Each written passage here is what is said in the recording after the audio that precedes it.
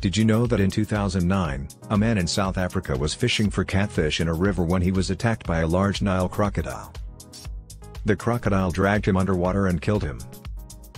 The man, identified as Dries Duplessis, was fishing in the Limpopo River when the crocodile attacked him. Witnesses reported hearing his screams as the crocodile dragged him underwater. A search party was launched to find his body, and it was later discovered that he had been killed by the crocodile.